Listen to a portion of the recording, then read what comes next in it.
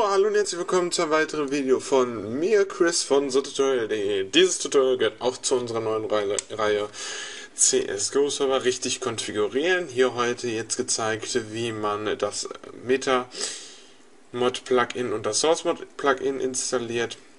Dazu habe ich jetzt mal den Server, den wir in anderen Videos schon installiert haben. Ich hatte den im vorigen Video, als wir das mit den Maps gemacht haben, hatte ich den auf dem Linux-Server. Jetzt habe ich den mal auf meinen Windows-Server gezogen, ohne weitere Veränderungen und ich muss sagen, das klappt ganz gut, überraschend. Man kann diese Server-Dateien jetzt einfach auf Linux, auf Windows rüber switchen und kann die ohne Probleme starten. So, bloß halt mit einer anderen Datei. Aber es läuft perfekt. Ja, ich habe den hier jetzt auch mal gestartet. Also wie wir das gemacht haben im anderen Video. Ja, wie wir jetzt hier sehen, wenn wir, wenn wir jetzt Plugin-Print eingeben, sehen wir, wir haben hier noch keine Plugins geladen. Wir installieren uns jetzt das Metamod für CSGO.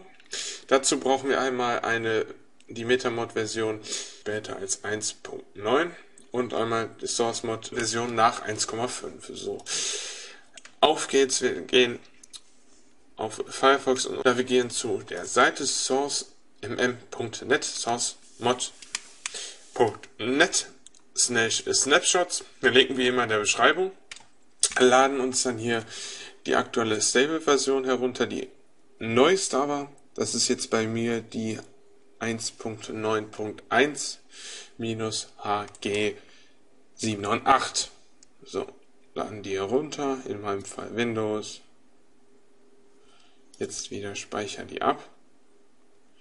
Ich speichere mir mit die mal auf dem Desktop ab. So, Rechtsklick auf die Datei, entpacken nach. Die Datei dementsprechend entpackt. So, und dann hier den Ordner Add-ons.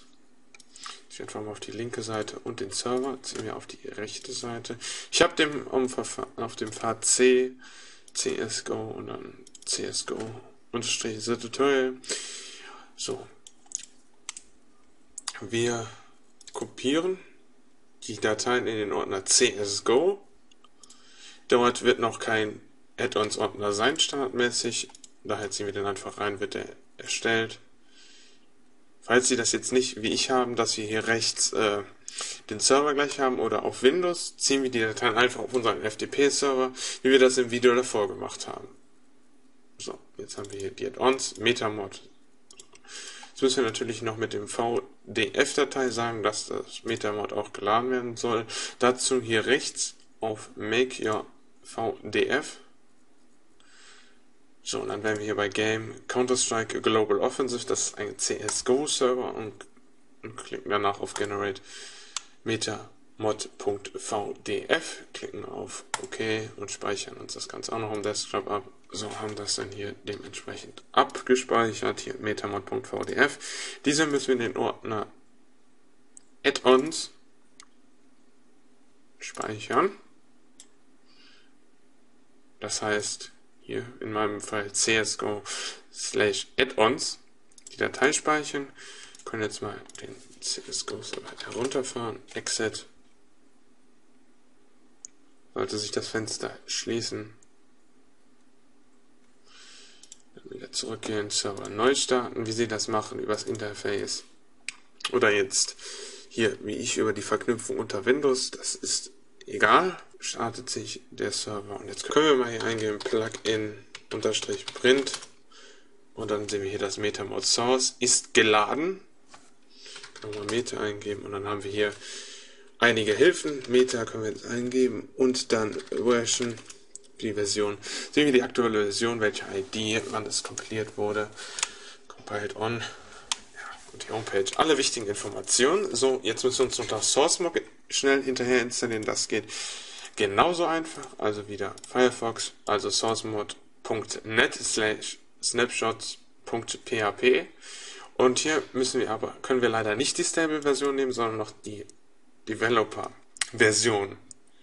Alles ab Version 1.0. 5.0 können wir verwenden. Ich verwende jetzt einfach mal die hier 1.5.0 HG 3678.zip-Datei lade ich mir entsprechend herunter, speichere das auf dem Desktop ab. So, nachdem die Datei jetzt heruntergeladen ist, genau das gleiche wie eben auch bei dem Metamod Datei entpacken nach, packen wir diese. So, nachdem die Datei jetzt auch entpackt ist, schiebe ich die mal auf die linke Seite, werden wir die, den Ordner Add-ons und CFG in unseren Server kopieren, dazu in den Ordner CSGO und dann hier einfach reinkopieren. Also wie gesagt, wenn Sie jetzt hier das per FTP haben, das ist aber jetzt nicht auf Ihrem eigenen Computer, ist einfach per FTP hochladen. Bestätigen hier mit Ja. Jetzt wird das hier das Ganze verschoben und hier auch nochmal auf Ja. So, jetzt hier nochmal auf Add-ons und dann sehen wir hier Source Mod. Hier müssen wir jetzt keine .vdf-Datei erstellen wie hier. Das ist quasi so eine Erweiterung für Metamod. Ich das jetzt einfach mal so sagen kann. Hier sehen wir jetzt die ganzen Plugins, das sind schon die standardmäßigen Plugins. Im Source Mode gibt es viele äh, ausgereifte Plugins, zum Beispiel ein Fallschirm oder das Würfel-Plugin können wir da hinzufügen. Das ist bei Mini Admin Mode leider nicht möglich. Das ist mehr so zur Administration. So, jetzt haben wir die Dateien erstellt, starten den Server dementsprechend neu, damit die Plugins bzw. das Source Mode Plugin installiert wird.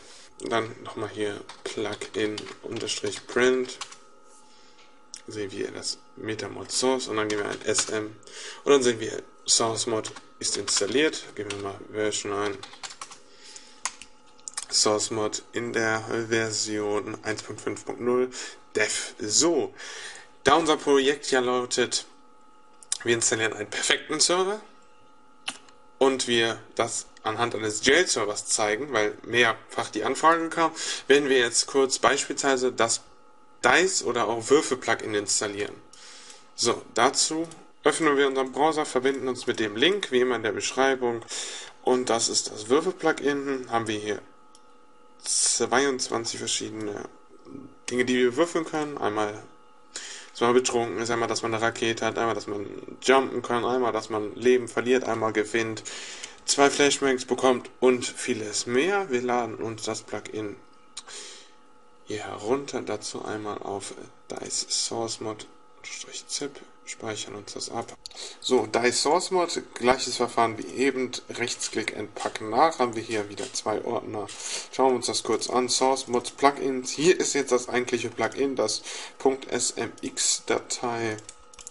So, verschieben das wie auch eben in den Server. CSGO befinden wir uns immer noch.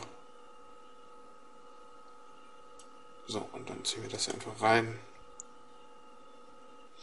Können jetzt mal nur zum Vergleich SM. Ja, müssen wir natürlich noch akzeptieren, dass das reinkopiert wird. Hier wird CM Plugins ein, dann sehen wir mal die aktuellen Plugins, Plugins List.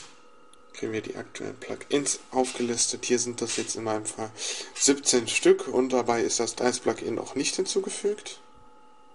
Starten wir den Server jetzt neu, haben wir gleich 18 Plugins mit dem, also 17 und das Dice Plugin. So, schließen wir das hier, starten den Server neu. So, gehen wir mal SM Plugin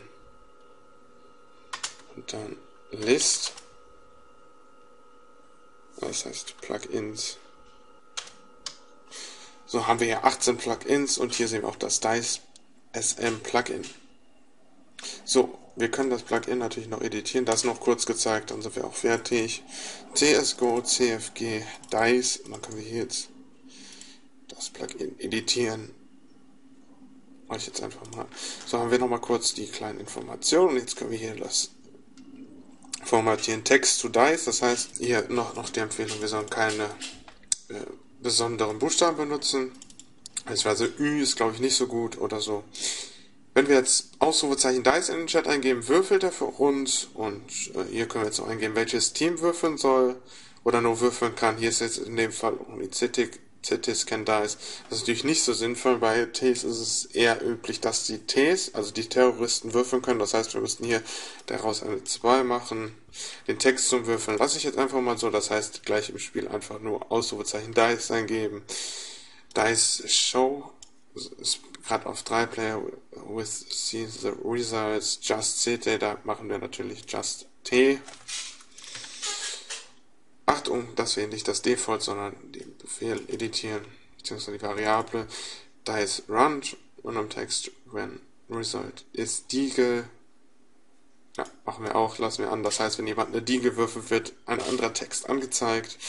Und jetzt können wir natürlich noch viel editieren beziehungsweise die einzelnen Eigenschaften. Das heißt hier, wenn wir die jetzt zum Beispiel, dass wir nicht wollen, dass eine Diegel gewürfelt wird, gehen wir unten zu 8, enable 8, 8, 8, 8 und machen hier aus der 1 eine 0. Kann niemand mehr eine Diegel würfeln. So, speichern das mit SDG und S ab, starten den Server neu, dann ist das Diegel-Plugin, beziehungsweise das Dice-Plugin aktiviert. So, das war's jetzt auch soweit. Ich bedanke mich recht herzlich. In den nächsten Videos werden wir dann zeigen, wie Sie sich Source Mode Admin machen und noch einige Plugins, kleine Plugins vorstellen. Und ja, ich bedanke mich und ja, über Abos würde ich mich sehr, sehr freuen und bis zum nächsten Video. Ciao.